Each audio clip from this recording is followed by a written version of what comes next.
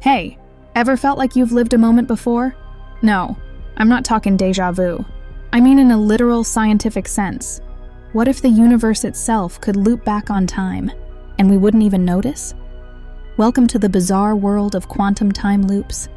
In classical physics, time's arrow always moves forward, past to future, right? But in quantum mechanics, time might just get a little playful. Enter the closed time-like curve, or CTC. Imagine time as a ribbon twisted into a loop, where future events can affect past ones in a seamless cycle. Ah, but here's the twist. Quantum mechanics limits these loops. Instead of chaotic paradoxes like killing your past self, in some theories like Novikov's consistency principle, all events fit perfectly, avoiding contradictions. Spooky, right?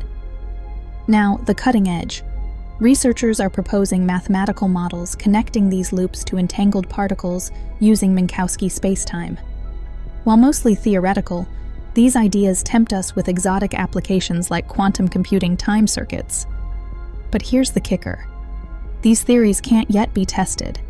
Speculation or breakthrough. Debate rages on, but quantum time loops could rewrite how we think of existence itself.